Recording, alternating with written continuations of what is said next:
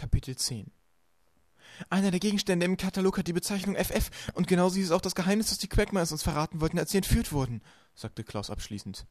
Das ist ja furchtbar, sagte Esme und nippte an ihrem Glas. Sie hatte darauf bestanden, sich erst ein Petersiliensoda einzugießen, bevor die Baudelaires ihr erzählen konnten, was sie entdeckt hatten.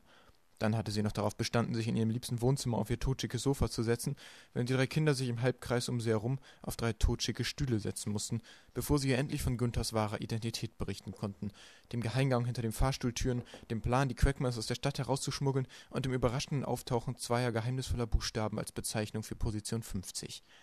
Die drei Geschwister waren froh, dass ihr Vormund ihre Erkenntnisse nicht einfach als Einbildung abgetan hatte oder mit ihnen über Gunther oder die Quackmires zu streiten begonnen hatte, sondern einfach still und ruhig zugehört hatte. So still und ruhig, dass es schon wieder irritierend war, was hier so viel heißen soll wie eine Warnung, die die Baudelaires nicht beachteten. Das ist ja das Umwerfendste, das ich je gehört habe, sagte Esme und nippte an ihrem Drink. Also nochmal, Gunther ist tatsächlich Graf Olaf in einer neuen Verkleidung, habe ich das richtig verstanden? Genau, sagte Violet. Unter den Stiefeln versteckt er seine Tätowierung, und das Monokel ist dazu da, dass man die fehlende Augenbraue nicht bemerkt. Und die Quackmice hat er in einem Käfig auf dem Boden meines Fahrstuhlschachts versteckt, sagte Esme und stellte ihr Glas auf ein Tischchen ab. Ja, sagte Klaus. Hinter der zweiten Tür gibt es gar keinen Aufzug. Irgendwie hat Gunther ihn entfernt, damit er den Schacht als Geheimgang benutzen konnte. Und jetzt hat er die Quackmas aus dem Käfig geholt, fuhr Esme fort, und will sie aus der Stadt schmuggeln, indem er sie in Position 50 meiner Inauktion versteckt. Kackschrett, sagte Sunny, das hieß, du hast es gerafft, Esme. Wirklich höchst kompliziert, sagte Esme. Erstaunlich, dass ihr Kinder dahinter kommen konntet, aber was für ein Glück auch. Sie schwieg einen Moment und wischte ein Staubkörnchen von einem ihrer Fingernägel. Jetzt können wir nur eins tun. Wir fahren so schnell wie möglich zur Weblenhalle und sorgen dafür, dass dieser schreckliche Plan nicht ausgeführt werden kann.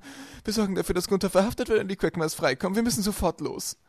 Esme erhob sich und winkte die Kinder mit einem matten Lächeln zu sich. Sie folgten ihr aus dem Wohnzimmer und an zwölf Küchen vorbei zur Wohnungstür. Unterwegs tauschten sie verblüffte Blicke aus.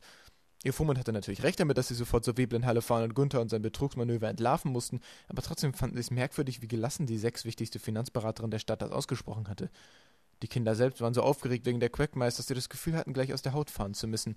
Doch Esme ging mit den Kindern aus dem Penthouse, als würde sie mit ihnen in den nächsten Supermarkt gehen, um eine Tüte Vollkornweizenmehl zu kaufen.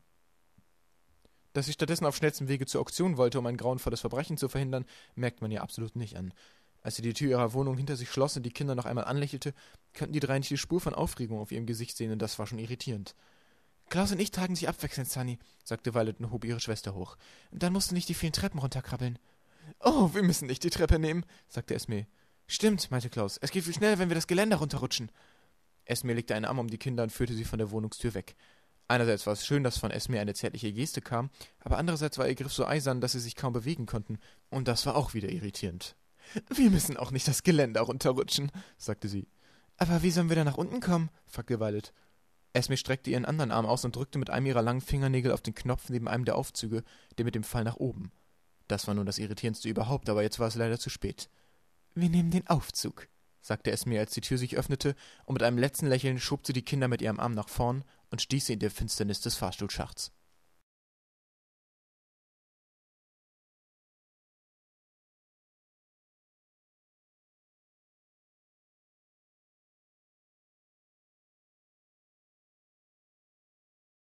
Manchmal genügen Worte einfach nicht.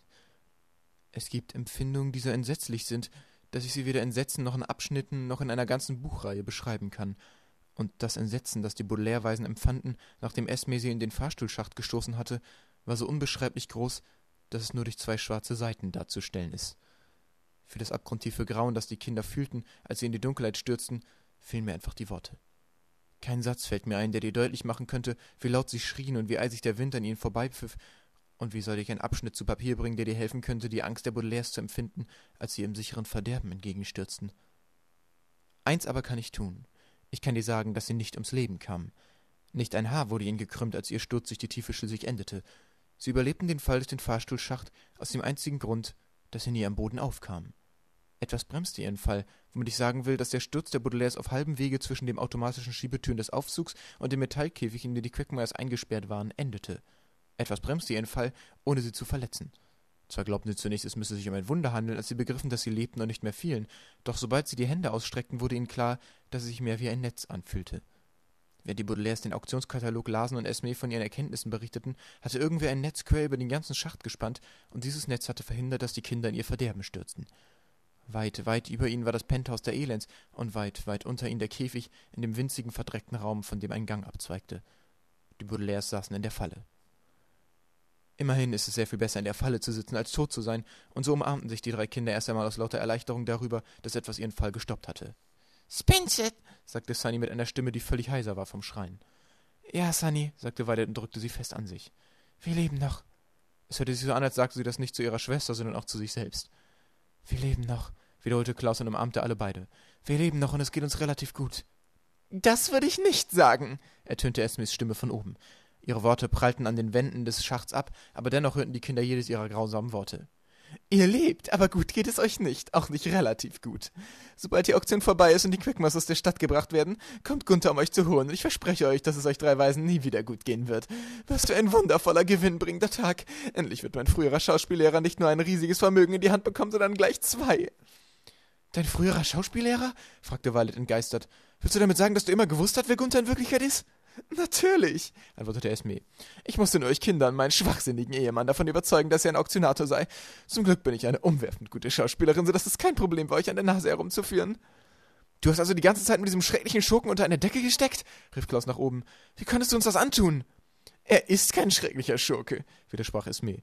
Er ist ein Genie. Ich habe dem Portier Anweisung gegeben, euch nicht aus dem Haus zu lassen, bis Gunther euch holen kommt. Aber Gunther hat mich überzeugt, dass es viel schlauer wäre, euch hier runterzuschmeißen. Und er hat recht gehabt. So habt ihr keine Möglichkeit, zur Auktion zu kommen und unsere Pläne zu durchkreuzen. Salem, kreischte Sunny.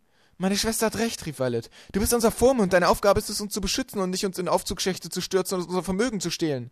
Aber es macht mir Spaß, euch zu bestehlen, sagte Esme. Es macht mir Spaß, euch so zu bestehlen, wie Beatrice mich bestohlen hat. Wovon redest du überhaupt? fragte Klaus. Du bist doch schon unglaublich reich, wozu willst du noch mehr Geld? Weil es in ist, natürlich, antwortete Esme. So, Kinder, ciao, ciao. Ciao, ciao, sagt man jetzt, wenn man drei frechen Weisen auf Wiedersehen sagt, die man nie mehr wiedersehen wird. Das ist absolut in. Warum? rief Violet. Warum bist du so gemein zu uns? Esmes Antwort auf diese Frage war grausamer als alle früheren, eine Antwort, für die es keine Worte gibt. Sie lachte bloß, und ihre Lachen war ein lautes, hässliches Gewieher, das an den Wänden widerhallte und dann langsam immer schwächer wurde, als der Vormund der Kinder sich entfernte. Die Baudelaires sahen einander an oder versuchten es wenigstens, so gut es in dieser Dunkelheit ging, wenn sie gleichzeitig vor Furcht und Ekel zitterten.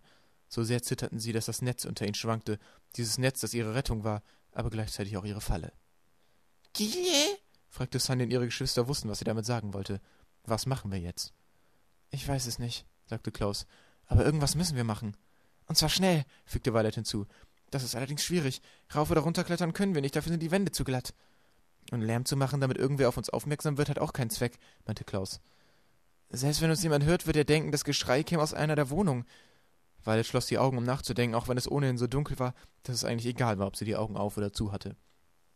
Klaus, vielleicht ist die Zeit wieder reif für dein Forschertalent, sagte sie nach einer kleinen Weile. Erinnerst du dich, ob es irgendwann in der Geschichte Leute gab, die aus einer Falle wie dieser hier entkommen sind? Nicht, dass ich wüsste, sagte Klaus traurig. In der Sage von Herkules wird erzählt, dass er zwischen zwei Monstern namens Scylla und Charybdis gefangen war, so wie wir jetzt zwischen dem automatischen Schiebetür und dem Käfig. Er ist aus der Falle herausgekommen, indem er sie in Whirlpools verwandelt hat. Glaukos, sagte Sunny, was wohl heißen sollte, aber wir können das nicht. Ich weiß, sagte Klaus bedrückt. Sagen sind zwar oft sehr spannend, aber besonders hilfreich sind sie eigentlich nicht. Vielleicht ist die Zeit doch eher reif für eine von Violets Erfindung. Aber worauf soll ich was machen? Ich habe doch überhaupt kein Material, sagte Violet und befühlte mit der Hand die Ränder des Netzes. Das Netz kann ich nicht nehmen, denn wenn ich anfange, es aufzuribbeln, dann stürzen wir ab. Es scheint mit kleinen Haken an der Wand befestigt zu sein, aber die kann ich auch nicht rausziehen und zu irgendwas anderem nehmen. Gütern? fragte Sunny. Ja, antwortete Violet. Haken. Leg deine Hand hier hin, Sunny, dann kannst du einen fühlen. Vermutlich hat Gunther eine lange Leiter benutzt, um die Haken in die Wände zu schlagen, und dann hat er das Netz daran festgemacht.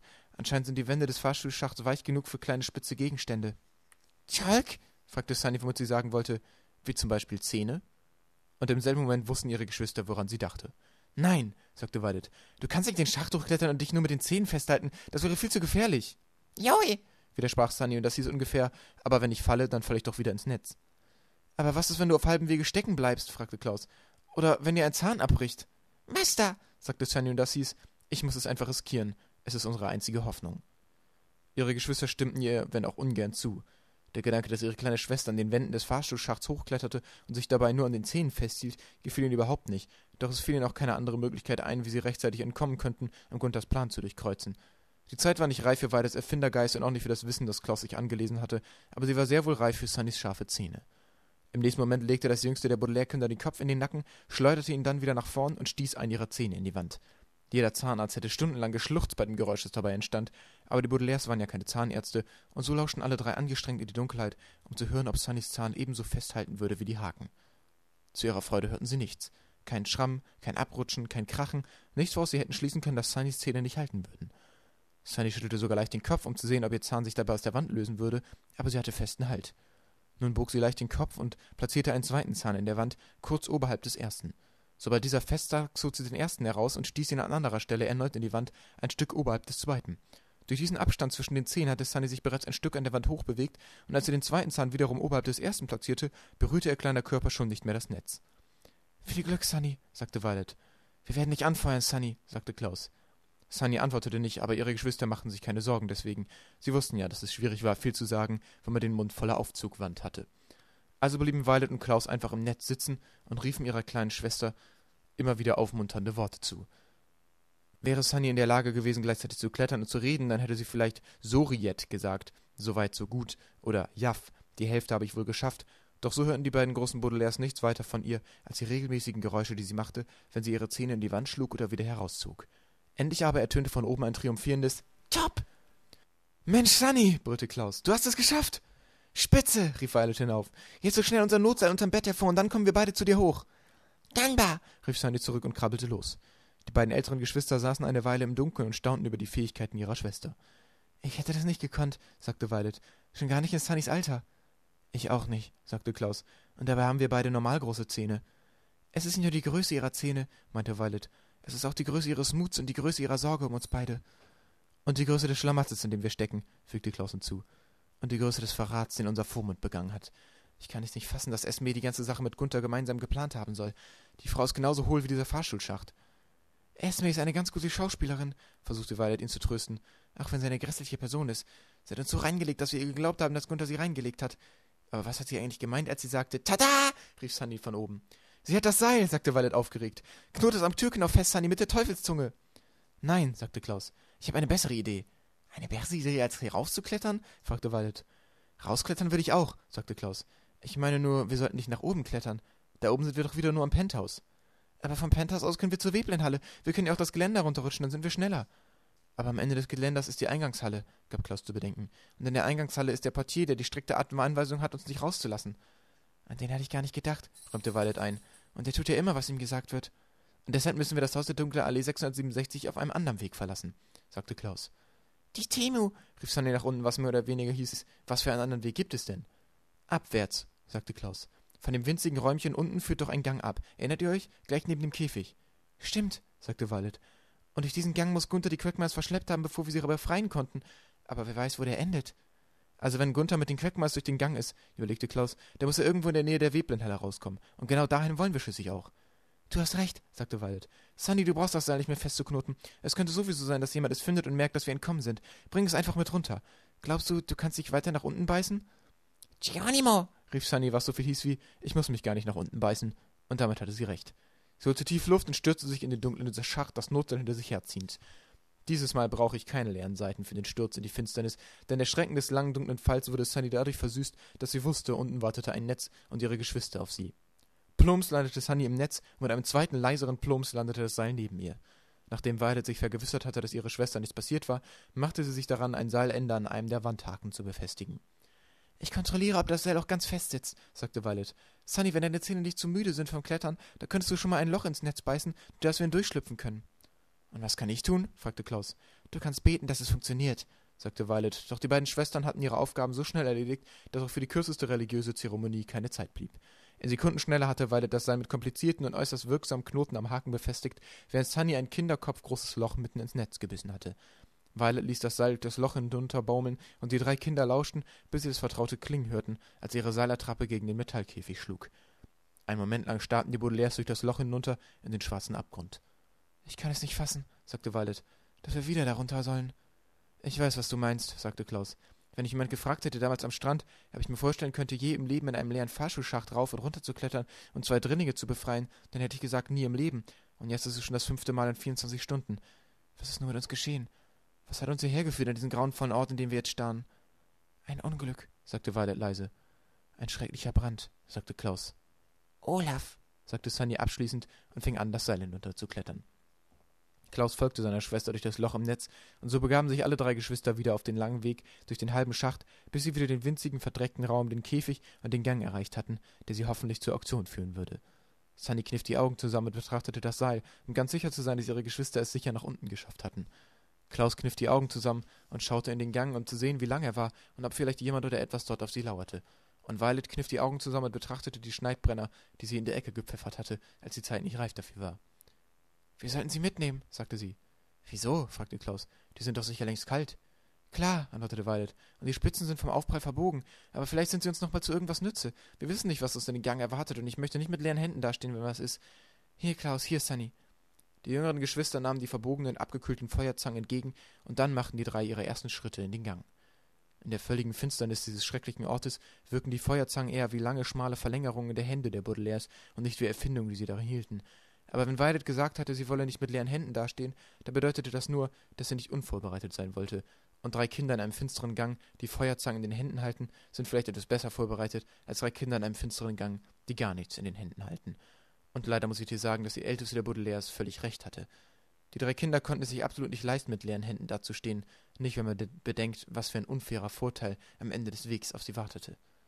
Während sie an einem vorsichtigen Schritt nach dem anderen machten, mussten die Kinder ihre Hände eher so voll wie möglich haben, angesichts des Elements Überraschung, das am Ende des finsteren Gangs auf sie wartete.